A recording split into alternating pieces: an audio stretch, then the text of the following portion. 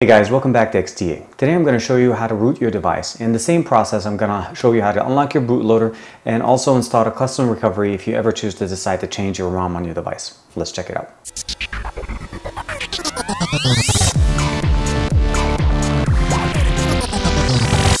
So the first thing we want to do when we start with this process is download a few files and also make sure that you have the correct version of the drivers. If you don't, please download those before you start any of these processes.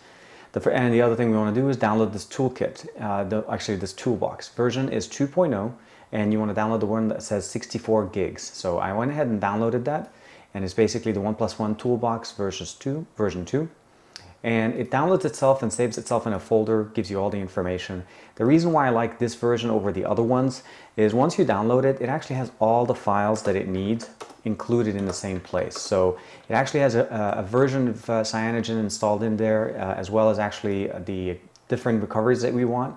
So you have the Clockwork Mod, PhilZ recovery, stock recovery, and TWRP at the same place. And of course, the root file. The one thing I you want to make sure that is uh, if you don't want to update it right away, you can install it and then update. But uh, the one provided with the toolbox comes with version 1.99 and the actual application has been updated to version 2.1, 2.01. So download those files and we'll get to that level. Next we want to do is actually make sure to be understanding that this is a process that will unlock our bootloader, which also means that we are going to arbitrarily flash or wipe our entire device. So once we do that, you need to make sure that you actually back up your device information and all of that before you go to that next step. And if you're comfortable with that, the next thing we're going to do is turn off our device.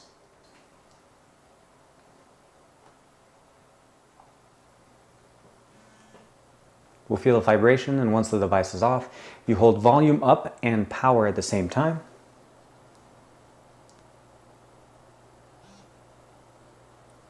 You'll feel a slight vibration and then you're going to be able to see this little CyanogenMod logo right here.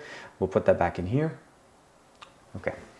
Next thing we're going to do is actually go into our device itself, actually uh, back on our PC, and uh, we're going to be able to actually unlock the bootloader, which is going to be the first thing. But next, we need to first connect our device.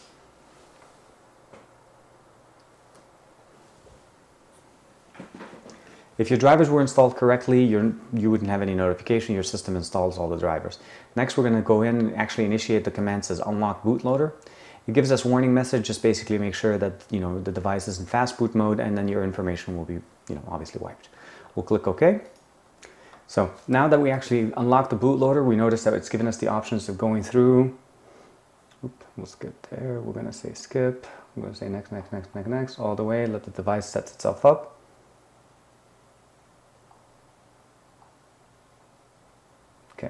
We're going to disconnect the device one more time and then at this point we're going to shut it down and go back into the bootloader.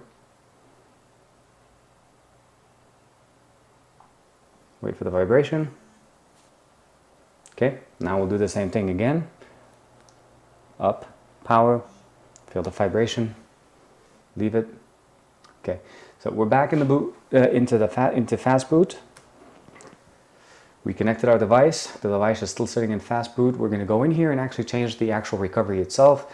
I'm going to go with TWRP, just personal preference. You can go with PhilZ, you can go with Clockwork Mod. It's up to you. Um, it's connected. I'm going to go ahead and say stay flash. It's going to make sure it tells us please make sure your device is in fast boot. Hit OK. We'll see the process go through. It's done. Okay, so now we're in the actual uh, recovery itself. We rebooted into it. You can see basically that the actual recovery is in there. You're able to like, actually reboot the device. So we're gonna normal do one thing real quick is we're gonna reboot the device.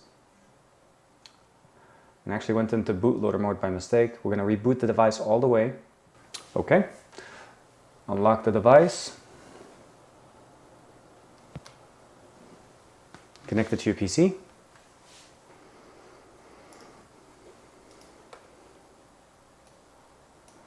We'll go through, wait for the device to show up.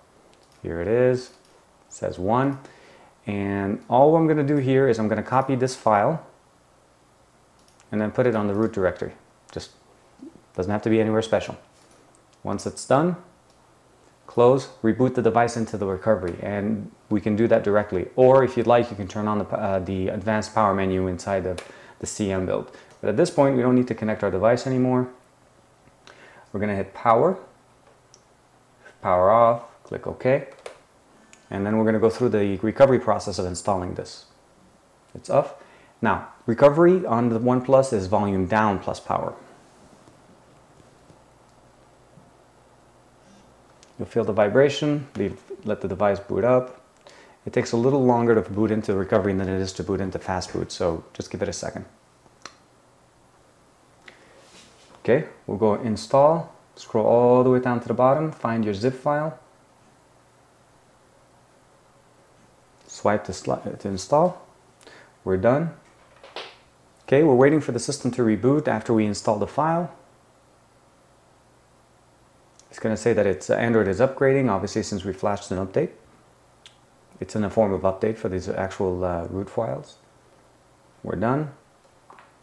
We'll go ahead and unlock. I'm to reset the, actually we'll go here, change the brightness a little bit so you guys can see where we are. Now this is this is basically as fresh as possible. The device itself has been actually, you know, as you know. So we're going to go super user. We'll say thank you since I already follow him. And we're done. The actual device is actually rooted. It's currently running. So I went ahead and installed an actual root application that I know definitely works and it's one of the main ones. As You can see it's requesting root privileges and it's been granted. And sure enough, everything is good. The only other thing I think I'm supposed to do, which is going to tell me, is make sure to turn on USB debugging, debugging on, uh, but we can do that at a later time.